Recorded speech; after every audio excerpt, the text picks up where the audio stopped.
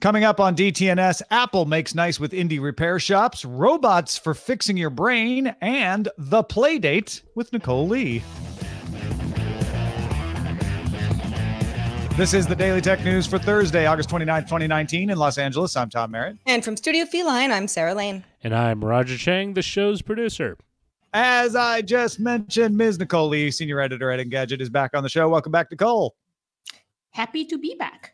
Thank you so much. We I can't wait to talk about the the little weird console game with a black and white screen that seems awesome that you got a chance to play with. Yeah, totally. That's the Playdate. That's the name of the console. We're gonna get it's a handheld console. Yes. We're gonna talk about that in a bit.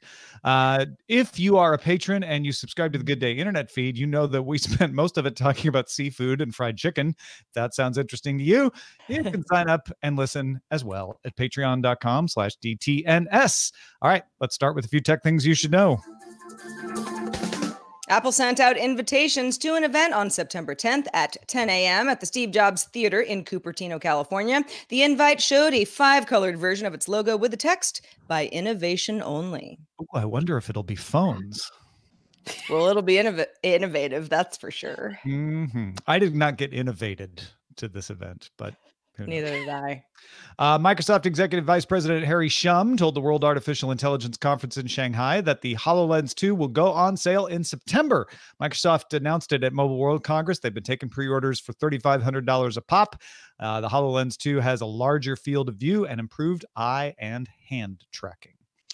All right, let's talk a little bit more about what's going on with Huawei.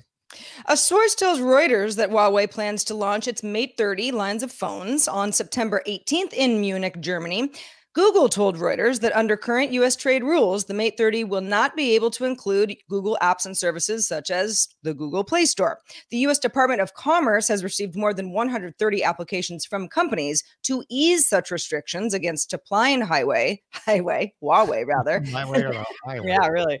Uh, that's a good show title. But none have been approved as of yet of those 130. Google hasn't commented on whether or not it has applied. Huawei can use the open source version of Android, which doesn't include Google services. Meanwhile, the Wall Street Journal reports that it has sources saying U.S. prosecutors are investigating Huawei for allegations of intellectual property theft from individuals and companies. So, as far as the tech world goes, uh, we know this is part of a much larger story. But uh, as far as the tech world goes, this is the the the the calling your bluff moment. Uh, Google Google hasn't confirmed whether they've applied, but we can assume they have. They they've they've said they would like to continue to supply Huawei uh, with the official version of Android with Google services on it. Huawei has said they would like that as well, uh, and Huawei not backing down, saying, "All right, we're going to put out our phone September 18th, one way or the other."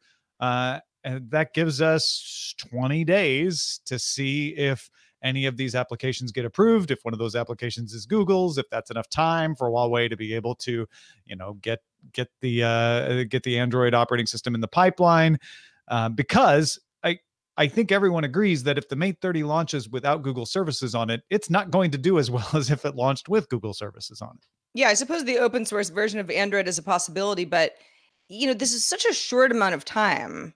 You can't it, to to have all these phones in the pipeline that I, I suppose you could announce a phone and and shipping could be delayed based on how this all shakes out.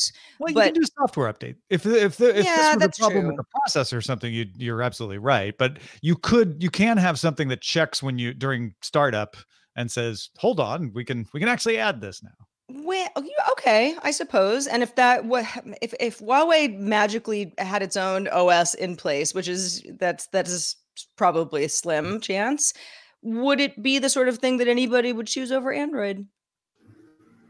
I uh, think that sorry. yeah um, no go ahead nicole. I was going to say I don't know what it, like you know this whole thing with uh the trade situation with Huawei and the US I mean that's obviously part of this larger issue as you said Tom. Um Huawei does have does have its own OS um it's not Android but it kind of is. It's sort of based on this open source version of it and um I don't they might have to go their own I you know it really de- I don't know what the deal is. I mean, it sounds as if Google wants to and Huawei wants to, but it's all down to this really iffy and contentious relationship right now between the two countries. Um, I don't. It might not be a choice. I guess is what I'm trying to say. Like, it might Yeah. not be a choice. It, it, it, all depends on how trade negotiations with China are going and the brinksmanship uh, that is being used for those negotiations. Now, now, mo- most recently, uh, as of this recording, China had backed off their retaliatory tariffs for the moment,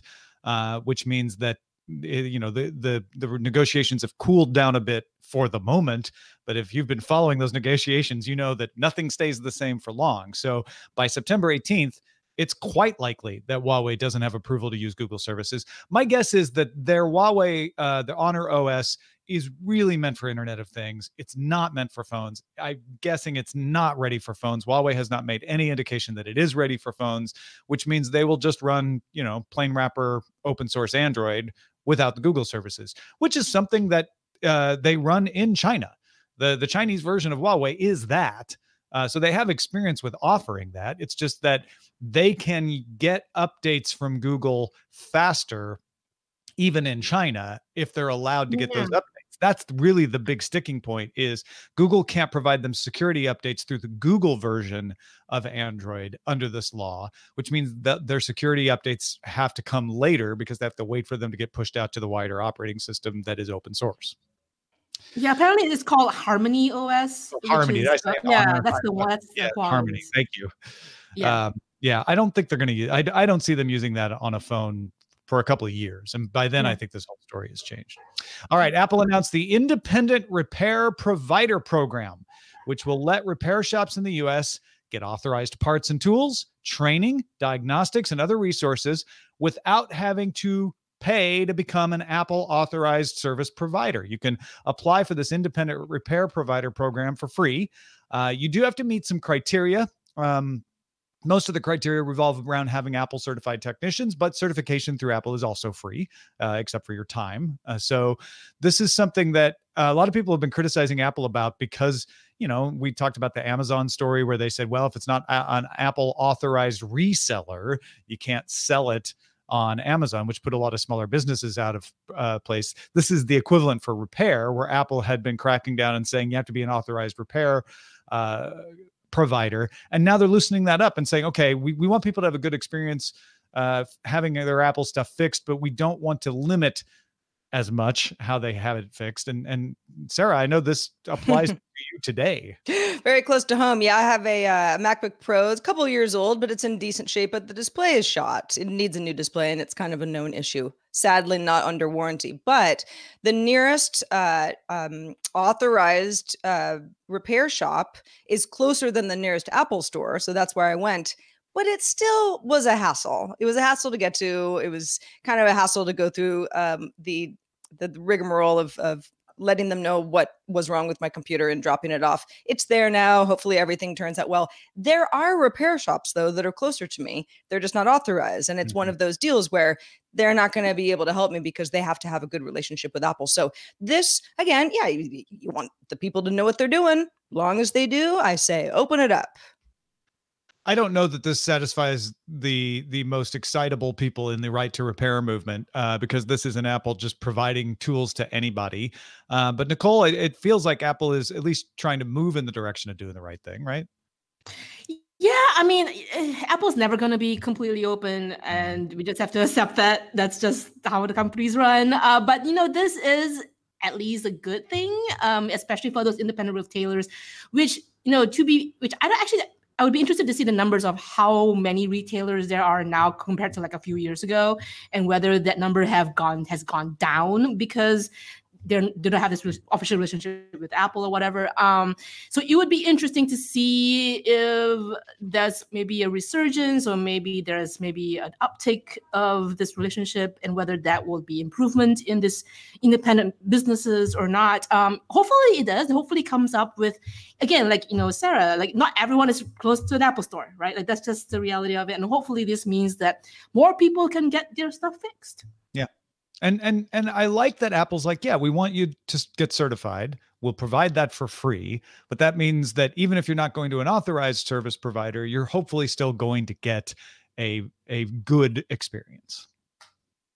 Well, Speak, speaking of fi- fixing things, Google will now pay researchers who find verifiably and unambiguous evidence of data abuse using its platforms. Google will pay a bug bounty if somebody identifies, quote, situations where user data is being used or sold unexpectedly or repurposed in an illegitimate way without user consent. Also, the app or Chrome extension will be removed or API access removed, depending on uh, the nature of the abuse. There's no reward table, but a single report could get $50,000 in bounties. Apparently, Instagram recently added misuse of data to its bug bounty program as well.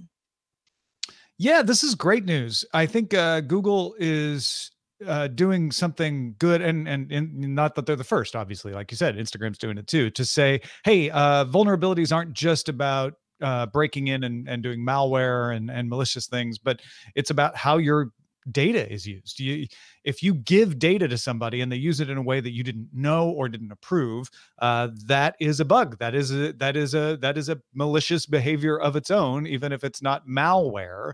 Uh, so let's try to get more eyes on that. Uh, this is this is an excellent move, right? I think so. I think you know anything that is going to help the ecosystem of any company that offers bug bounty programs. What do you have to lose? Somebody comes to you with information. You you you fix issues. You say thank you. We'd like to pay you for your good deed.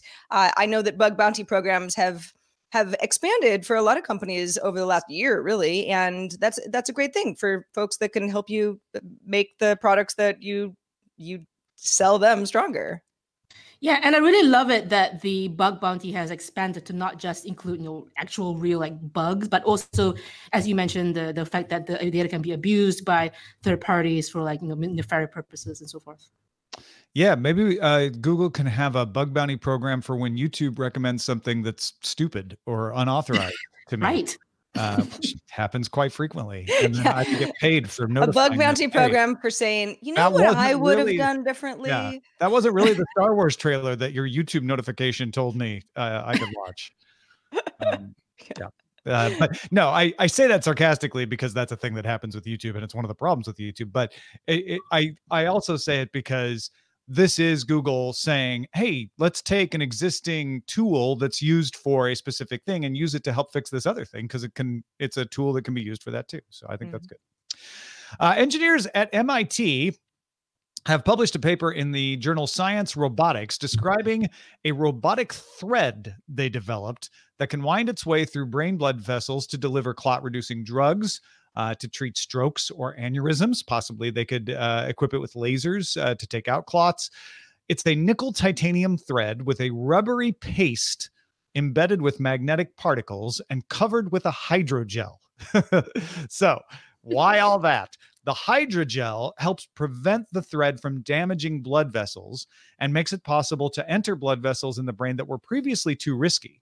So there are parts of the brain where right now they they do take a thread when they go in and, and get rid of clots, but sometimes they get to a point where like, yeah, we'll do more harm than good if we go there. This hydrogel helps them to reach those spots. Uh, and also prevents damaging blood vessels in any other place. The magnetic particles that are in there let the thread be moved by magnets, uh, and this would let surgeons perform from outside the operating room. Now, that's something that's important because the fluoroscopes that are used to let surgeons see in such procedures expose the surgeons to radiation. So they're they're physically tasking. Uh, they, they, they're they're not good for the surgeons to do that too often. So this could help. Also, you can use a joystick to do brain surgery. Uh, that is a real thing that is in the paper. The robotic thread is not yet ready for clinical use. They have demonstrated how it works on a life size replica of the brain's major blood vessels, however. So they've showed that their control system works. The next steps would be to do it in an actual living tissue. Wow. Magnets, how do they work? Yeah, really. they work on your brain. That's how yeah that's amazing. That's really like the fact that you can you mentioned you, you, the fact that you can use it outside of the body, outside, outside of the room.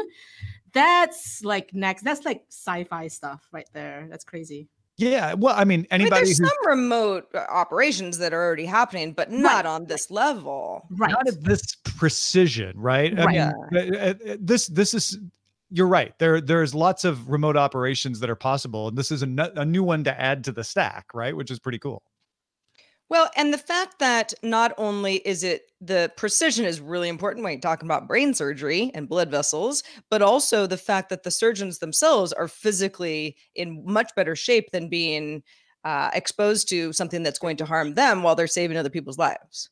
Yeah, and and not to mention that this would, uh, if it if it turns out that it that it works well in living tissue, which there's no reason to think it wouldn't, but they haven't done it yet. Uh, this would allow them to get to clots that they wouldn't otherwise. So it it will literally save lives that that you can't save right now. Um, so yeah, I mean, doesn't involve Google, Facebook. Uh, it's uh, humanity. It's not a security breach. Like uh, Roger and I got very excited uh, when we saw this uh, today. Um, so yeah, hoping uh, hoping to bring you more stories like these uh, as time goes on because uh, this is this is pretty positive and real. Like it's it's a real thing that they've done. Right. It's not like, hey, maybe we could do this. Some sometimes those are interesting scientific papers too, where they have a theory, but this is something that that does work. They just need to now make it work on humans in a safe way.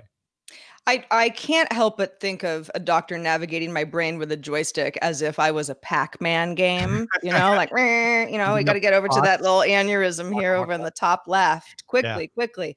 Um, and I'm also, sure, I think a little bit more involved than that. I think the key here is if they can do this kind of procedure quickly, that I think is the next step because um, mm-hmm. strokes are very time sensitive. You need to get at that clot like ASAP.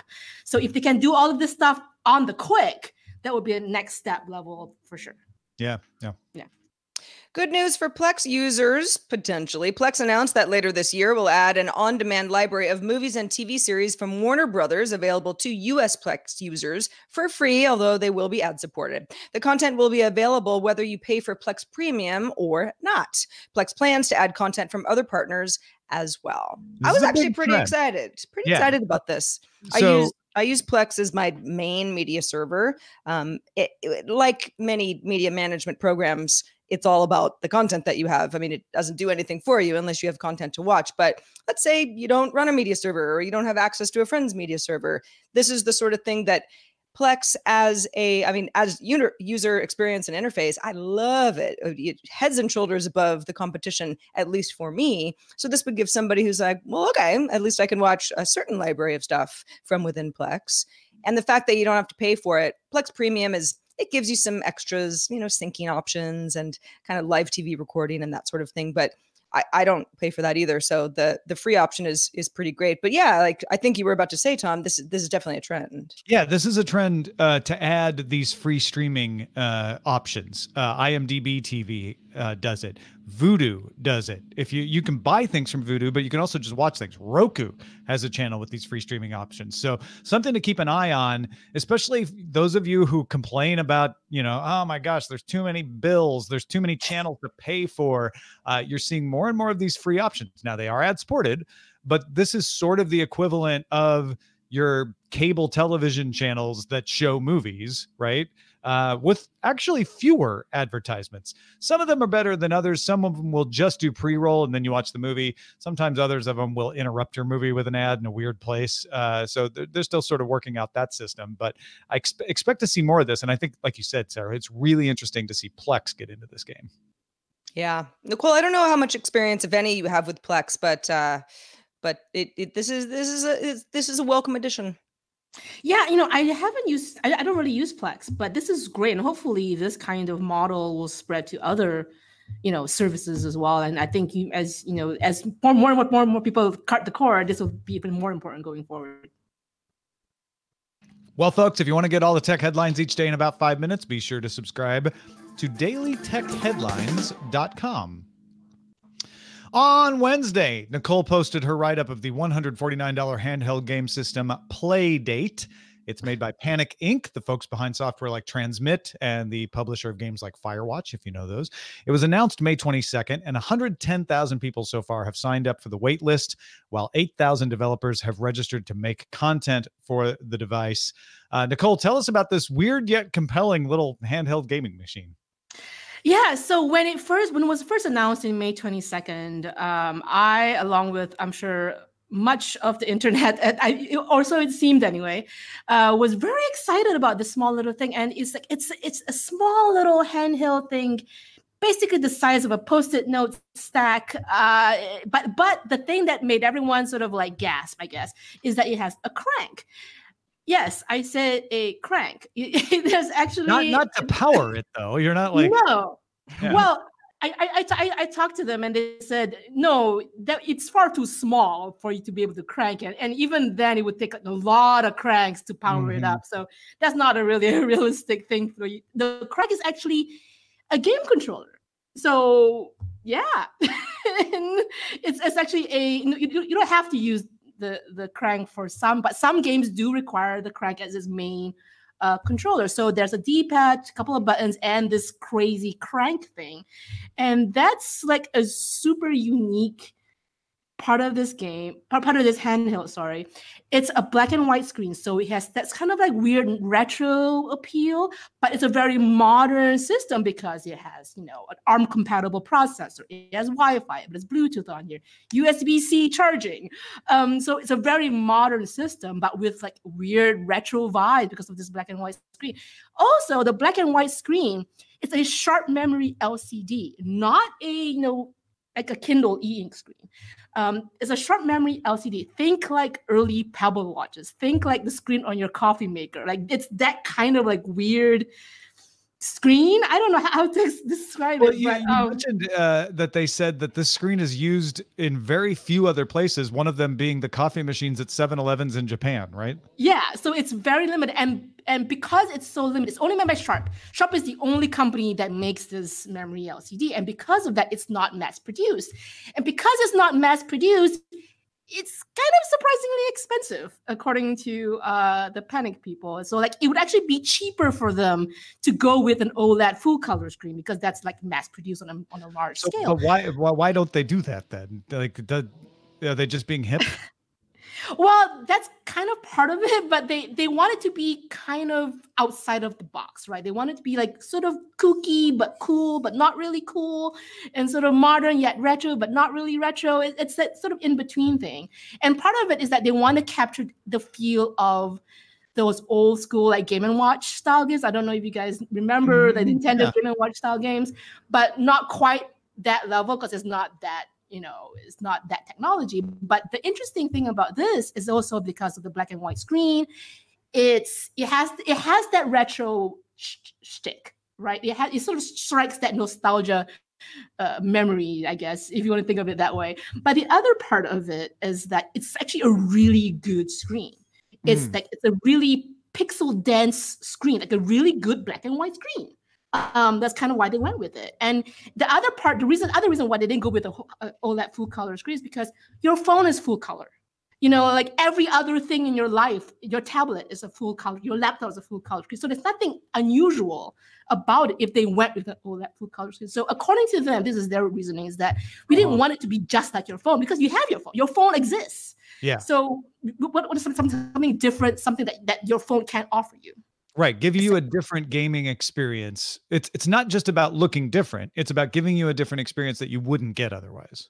Right, exactly. And right. the other the other is the other key part to the play date and why it's called the play date is because with the $149 you don't you don't get just the the console you also get a season's worth of games and the idea is that is that every week on like let's say a monday for like 12 weeks you get a new game delivered to you and it's a surprise. I mean, well, not all. To be fair, like a couple of games has been spoiled, have been spoiled already, but the the the at least the idea is that every every week you would get a game delivered to your you know play date box or whatever as a surprise, and it's called a play date because that's the date that you get your game, um, and that's the other like unique part of the whole concept. Yeah, I, I, mean, I think it's easy to dismiss this as as you know hipstery uh, silliness that you don't need, uh, and you're not wrong. It, it is right. it is definitely hipstery, and you don't need it. But right. if you want it, and you and you're like, yeah, but I I like the idea of having a dedicated gaming device that I can hold in my hand. There's some interesting things about this, including like that crank control, which is I know it's great for fishing games. I'll be interested to see what else it can be good for. Right. Uh, and and that experience of like hey these are games tailored for this device so you're going to get an experience gaming that you can't get otherwise because it because other devices don't do this. They don't have this kind of black and white screen. They don't have this control system etc And that's something to think about too, because these most of the designers that have signed up for this device are indie game developers. Like the Mhm. one that has uh, been blowing up is the one that they've been publicizing is um, Crankin's Time Travel Adventures by Keita Takahashi, who is the person behind Katamari Damacy, if you know that game, Mhm. the rolling ball. Uh, so the very wacky, he makes very kind of wacky out of the box kind of game. So the Crankin's Time Travel Adventure, you use the crank to control the, t- the flow of time. So if you go forward, the, the, the character goes forward, and you gr- scroll backwards or spin it backwards, the character moves backwards. Huh. So that's kind of the concept behind this little game. But even though you can control the flow of time of this character, the enemies and obstacles around it exist outside of the time flow. So Oh, it's wow. a weird way to like the character to interact with its environment depending Mhm. on your place in time. So it's yeah, it's a very interesting. Well, like any game uh, console, the games developed for it are going to make or break it, right? That sounds like a Yeah. really interesting one. Uh, real Yeah. quickly, Fopa in our chat room on Twitch has a uh, question: Are there online games? Because Playdate makes it sound like you could play with others. Um, so they haven't they haven't really talked about all of these games just yet, but they've Okay. talked about that. They, they, they, they, there is Wi-Fi involved, and um, and even though you can get games delivered every week, you will you will because it's an open source system. You will be you will be allowed to sideload games. Um, I don't know about the Wi-Fi online player option. I'm not I'm not sure. Is what I'm trying to say. I Hmm. don't know. Just yet. Hmm. But Well, yeah. thanks, Nicole, for for sharing the uh, experience there. It sounds interesting. And also, thanks to everybody who participates in our subreddit. Submit stories and vote on them at dailytechnewsshow.reddit.com. If you hang out on Facebook, head on over to our group, facebook.com slash groups slash Daily Tech News Show. I'd say check the mailbag, but today we're checking the Discord. We are. It's a different kind of mailbag, really. It's a it's a live mailbag of sorts. And if you're not in our Discord, you're missing some good conversations. For instance, earlier this month, Jay Ramadan had posted for all the places I seem to go now where Apple Pay is accepted. It seems somewhat appropriate to get the Apple Card for two percent back, possibly three percent if the Uber deal with the other merchants ever happens. Easy to get. We'll kick the well, we'll kick tires on it. Gadget Virtuoso also chimed in on the thread and said, I didn't really need another credit card either, but the perks are decent enough. It's impressive to apply, be approved, and then be able to use the card for lunch very same day. That unto itself is going to change things for banks if they're not paying attention. BioCow added a little expertise as well and said some banks can already do that. Actually, they have a card put into your Apple or Google wallet, but it will be, become more common moving forward. This is a nice feature even for debit cards. If you lose your card, call and get a new one. While you wait three to five days for it to arrive in the mail, you can use it from your phone. The best audience in the world, making you smarter all the time. And you can join our Discord. Lots of great conversations happening there every day by becoming a patron at patreon.com slash DTNS. Yeah, good stuff in there. You know, when you were talking about the Apple card uh, while I was out, uh, I tried to go in and look and see how to sign up for it. I couldn't because I was not in the United States. Oh, that's funny. I even show up. I I did not. I'm not getting a physical card because I'm just you know I'm gonna scratch that thing up to heck or high heaven for sure. Um, but I I am now an Apple Card Hmm. um, member, Mhm. Yeah. and it was very painless setup experience.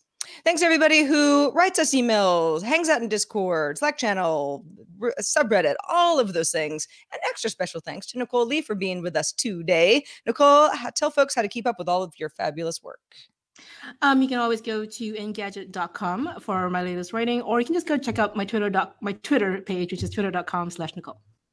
Our show is funded by you, unless you're not funding it, in which case it's not funded by you, but it is 90% funded by actual people making small bits of support uh, through patreon.com slash dtns get a few people supporting us on paypal which they, they don't even get anything for except the satisfaction of knowing they're supporting us. The point being uh, we don't have a big corporation behind us. We are the corporation me roger and sarah. That's that's all you got. So if you like our perspective and you want to support independent tech news uh, think about becoming a member. We've got some rewards for you at patreon.com slash dtns Our email address is feedback at dailytechnewsshow.com, and we are live Monday through Friday, 4.30 p.m. Eastern. That's 2030 UTC, and you can find out more and tell a friend. dailytechnewsshow.com slash live. back tomorrow with richard gunther and len peralta talk to you then